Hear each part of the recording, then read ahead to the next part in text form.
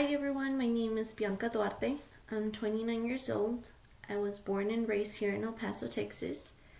Both my parents live here as well. I come from a family of five, five, mm, sorry, six. Um, my siblings, um, it's a total of four of us, four kids, one male and three females. As you guys can see, this is, these are my brother and my two older sisters. And the order that we are in the picture, that's the order that we were born. Um, a little bit about my back background. Um, um, a little bit about the Mexican culture. So in the culture where I come from, it's more traditional, uh, based on family gatherings, family meetings. Their even religion culture is really traditional. So we were raised by the book through my through my dad because he comes from Mexico. Um, I like my culture because it shows how families can come together even in good and bad situations. And I believe that shows not only myself but my kids that family will always be there. And I'm not saying other cultures don't show otherwise, it's just I think it has more unity and it's more, mm, I would say, it's more, I would say, how can I say it? Um, it's just family wise. For everything, we depend on our family good or bad, I know they're gonna be there. So I do enjoy my culture and that part of, of my family. Um, a little bit more about me. I am a mom. I have two kids. My oldest is gonna be 13 in June. So um, I'm a mom of a soon to be teenager. Wish me luck with that. I also have a one year old, which I'm in the stage of teething, so it's been real difficult because she's real fussy, but it's I love it. I love the fact that I have girls that um, are easy to take care of. I can rely on because I, I think girls are easier and there's more cute stuff for girls. But I just think they'll look after after me and what I, I accomplish in my goals. A little bit about my present. Um, I'm currently going to EPCC. Um, I majored first in biology, which is a little bit confusing for myself too because at first I wanted to be a nurse and then I switched it to business.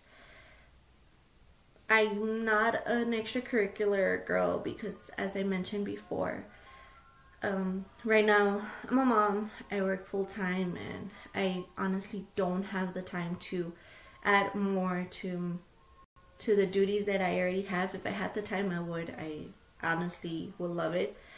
But during my job, um, my previous job that I worked with the gas company, I would volunteer. I would take my daughter, and I would see different environments. So I do like putting myself out there if I'm able to. Now that I have a baby, I've limited myself because she's in the growing stage. Unfortunately, um, I have to balance my time with my girls and my school and my work. I do currently not work at the gas company no more. I do work for a trucking company called OT Trucking, which I do invoices, I do uh, the paperwork, mostly like an assistant, but I, also, but I also do the accounting stuff. Like I help with payroll, I help set up the invoices to get the funding's ready every Monday, Wednesday, and Friday. So I do deal with a lot of numbers. I also do help the truckers with the logs because I have to manage their their driving logs if they have any violations so it's a lot of going on as well in my work which i love it because it's a learning experience every day it's not that i am stuck in a routine so i love that about my job um, my hobbies I only have one, and I would say that it's my little getaway. I love to draw. Um, it takes my mind off my stress or work or school or when I need to clear my mind. It just relaxes me. I feel like as I'm drawing, I clear my mind or new ideas come into place. And no, I don't copy. I literally draw the the picture or the drawing that I need to draw. So that's a little bit about my present right now. Mm, going into my future. So the reason why I switched from biology to accounting is because I used to work at a CPA firm a few years ago. And I started as a receptionist, just picking up calls, basically writing notes, running errands. And little by little, my boss saw the potential that I had. She started giving me payroll. She started letting me do the EFTPS files, the tax payrolls. She also let me do tax, um, quarterly tax reports, which it intrigued me because I was really caught up in the situation. If I couldn't figure out the numbers, I would get into context or get into like the account and just basically figure it out, which it's the adrenaline I felt that made me want to switch to accounting. So that's one of the main reasons why.